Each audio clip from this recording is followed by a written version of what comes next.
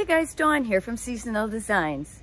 Today we are going to take a look at the inside of the greenhouse. If you have been watching my channel, you know that this is kind of part of a three-part series that I did on the greenhouse. And the first one really was all about the building of it. Really, there was nothing here before and really starting from the ground up. The second one I did was all about the landscaping and the plantings that we put in. And so now this third one, we're gonna go inside the greenhouse and we are gonna talk about some of the mechanics and we're also gonna talk about some of the ways I hope to use the greenhouse. We really hope that it is a multifunctional space. I would like to grow in here. I would love to do some seed starting in here. I would like to force some of my bulbs in here but we also want to be able to entertain in here and really just enjoy the space. So I'd like to share it with you now. Come on in.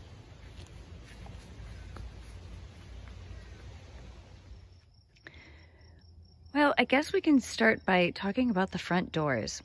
We decided to go with nice, large double doors just for the ease of moving big things in and out of the greenhouse. In springtime when I want to bring all of the containers that I planted up with tulip bulbs out here on my big old cart, I just open these big old doors up and bring it in. So as you can see, I'm getting things set up for a little dinner party, but we really need to take a look back at how we got to this point. As you might recall from the first greenhouse video we did, we decided to put a concrete floor in. Super easy to clean. But we couldn't just leave it like that, so we decided to have it ground and polished. The process took all day and really into the evening. And he started with a rougher grind and then just kept changing out these grinding pads to finer ones until he got a really pretty, amazing, polished concrete floor. It's not slippery when it's wet, which is so nice, but it really just looks like glass. We love the way it turned out. We also had the daunting task of choosing a tile for both of the long walls. I say daunting because there are just way too many pretty tiles to choose from. We had a hard time focusing and choosing just one. But our friend Mary set us in the right direction of pulling the frame color down to the walls, and we were able to focus and choose a tile. Of course, our first choice never came in, so we had to make a second choice. And unfortunately, we ended up just not loving it. Thankfully, we only put it up on one of the short walls and then quickly took it down. Now, we have to grind that? We went back to one of the very first tiles that we saw and really kind of forgot about. When we brought a large sample board home, we knew it was the one. We took some time to lay it all out how we wanted before installing. Thankfully, my hubby has done plenty of tile work in his time, so he was able to get the tile up pretty quickly.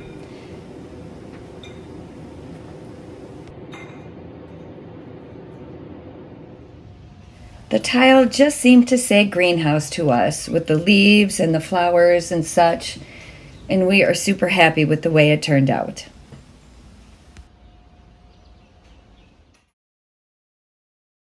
Next up, we were finally ready for the electrician to come back in and hook up the breaker box, put in all the outlets, and hook up the automatic roof vents and the bling.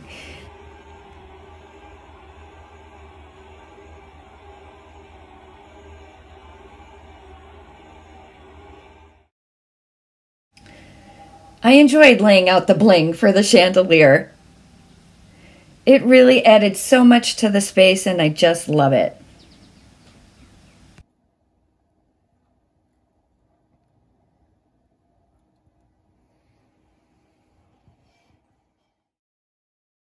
On a cool summer evening, we had our very first dinner party in the warm and cozy glass house. Let's talk about mechanics. There are two ceiling fans, both of them right above a vent. There's one and the second one is right above me. They turn two directions, obviously one for pushing air down, one for pulling air up. And there are two remote control.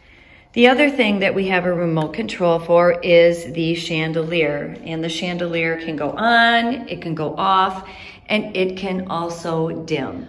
All of these things um, have a switch in our panel here. We do have dual outlet here, heavy duty, but then there are outlets on each of the walls. And then the other thing that is really important in here is this control panel for the roof vents.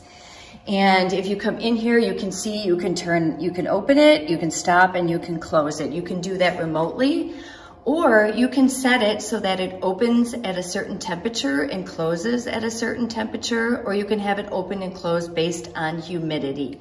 One of the things I have to point out is our electrician was fantastic. He hid all of the electrical work as best he could. You know, you can't run this behind any walls because it's, it's all glass or concrete. But he ran this all the way up, painted it so it matched the frame of our greenhouse, ran it all the way up here. The only place you really see it is a little bit right here and a little bit right there. Otherwise, it's hidden to everything that you see. He did a great job. You know, I am in some greenhouses and I don't think people take that into consideration and they just run their electrical in that kind of steel colored uh, tubing that you run it in and it kind of stands out like a sore thumb. Um, so he did a fantastic job, something to consider. The other thing that we have in here are obviously some windows, and we decided that we wanted to, to control the windows in the front and have them look a little bit nicer. And so these close all the way up.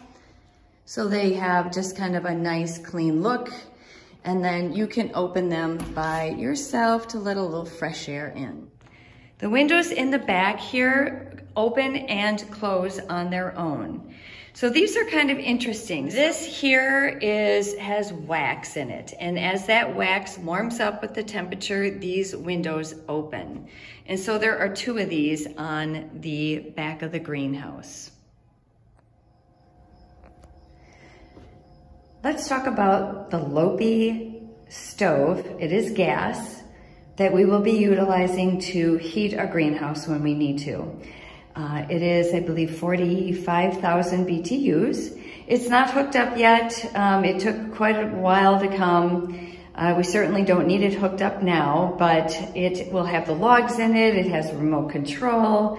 It is going to vent from here, and that vent is going to go up and going to vent right out here at the top. Right next door to that is something I'm quite excited about is my traditional potting bench from England. I ordered it in April. It is now uh, the end of June. It finally arrived. I'm super excited. My husband was able to put it together without directions. I think it's gonna be really cool. So there's a piece of metal that will go in here. It'll sit on this edge and that's where you put either your pebbles or your lava rock, and then you can put pots on it or trays of plants or whatever you want. And then below is where we will put some nice wood slats uh, so we can use um, it for supplies. So here's my other option for growing. This is a potting bench that my hubby found on Etsy and they were super great to work with. They made it two size. It did come with a back, but we didn't want the back, so they made it without the back. It has a metal top on it, so you can get it wet. Um, it has a kind of, it's kind of neat. It has a tall bar here, some hooks in the front. Right now I have it, you know, dressed up, but I have used it as a buffet for a dinner party in here and I will also be using it for planting. So really kind of cool, multi-purpose. Right now on the polished concrete floor, we, since we're not really using this for growing in the middle of summer, we did put down an area rug, kind of absorbs some, some of the sound and kind of gives it a nice cozy look. But Come spring, if we're super growing in here, this can get either rolled up and moved out of the way, or it can just get moved underneath the chairs that are over on the far wall because there's plenty of room to do both in here. But this is where everything drains. And then it's on the side of the greenhouse where my potting bench is.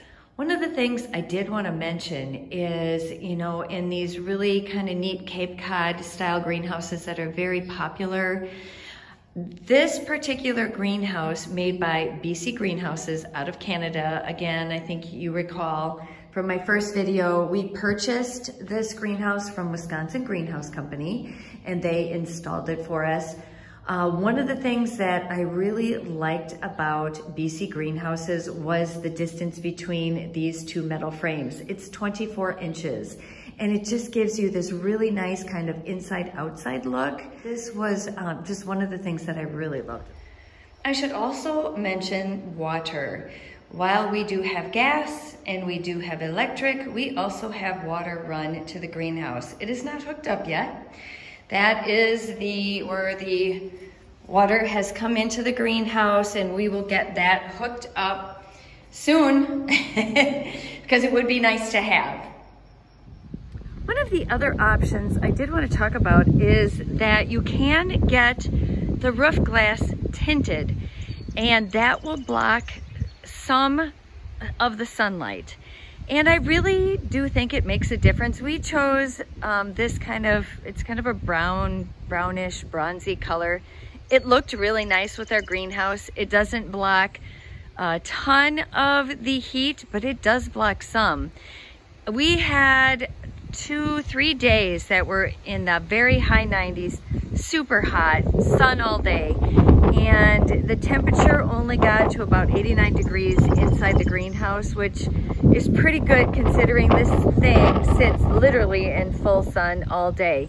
So again, there are varying um, degrees of, of tint that you can get in different colors, but it is an option and something that I highly recommend.